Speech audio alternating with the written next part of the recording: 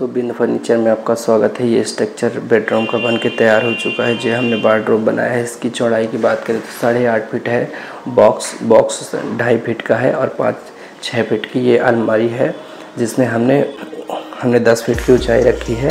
इसके दो फीट दो फीट का हमने ड्रॉपर लिया है। इसका बाकी का आठ फीट का हमने सिंगल सिंगल पल्ले के दो पल्ले हमने स्लाइड बना दिए हैं। इसकी गहराई की बात करें दोस्तों तो इसकी गहराई इंटरनल आपको अठारह इंची मिल रहा है।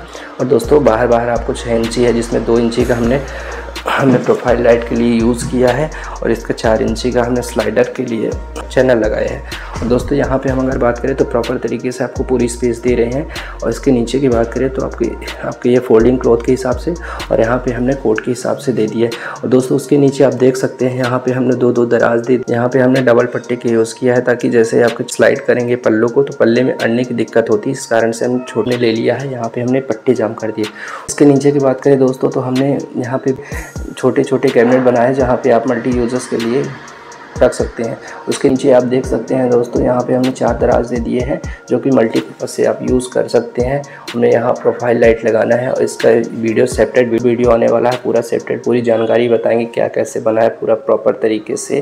तो आप हमारे चैनल को सब्सक्राइब करिए, दोस्तों के साथ शेयर करें दोस्तों। ऐसे इंटरेस्टिंग वीडियो में बहुत जल्द मिलने वाले हैं। तब तक के लिए जय हिंद, जय भारत।